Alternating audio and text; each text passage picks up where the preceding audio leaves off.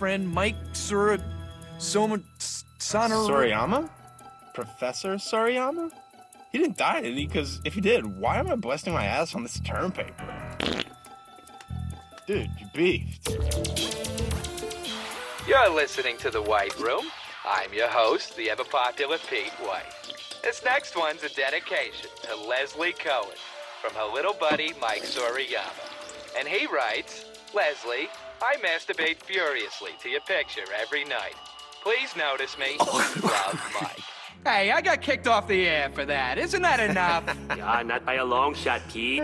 Go ahead and laugh while you can, Rusty. You're next on my list. Out of everyone, you betrayed me the most.